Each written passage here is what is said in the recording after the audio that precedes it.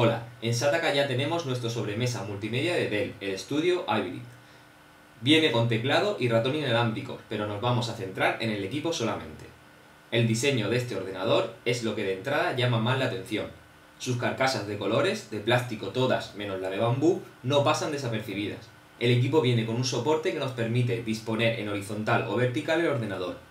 Las conexiones se reparten entre el frontal y la parte posterior, Delante disponemos del botón de encendido, la ranura para discos ópticos que permanece casi oculta, un lector de tarjetas de memoria, la salida de auriculares y dos puertos USB.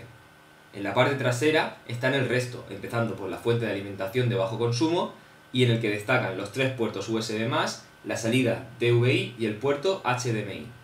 Como otros equipos de Dell, el interior es bastante configurable. En nuestro caso contamos con un procesador Core 2 Duo, 2 GB de RAM y lector de Blu-ray, Además, el disco duro es de 320 GB. Escogimos esta configuración porque queremos usarlo como media center en el salón. Como vemos, colocar en el salón este del estudio Hybrid no es una locura. No ocupa mucho y la fuente de alimentación es similar a la de los portátiles, lo que nos da un consumo reducido. Además, gracias al puerto HDMI podemos conectar la pantalla al televisor de forma simple y eficaz.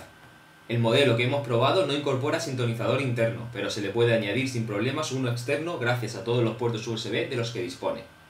Un punto a favor de este sobremesa de Dell es que lleva conectividad Wi-Fi incorporada de serie, pero también cuenta con un puerto Ethernet.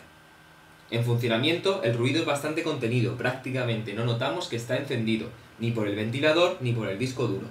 Así que tener un equipo de sobremesa tan manejable, que podemos llevar sin problemas de un lugar a otro, con una fuente de alimentación tan cómoda, silencioso, con lector de Blu-ray y salida HDMI, es todo un acierto si podemos pagarnos el precio un poco alto que tiene el equipo.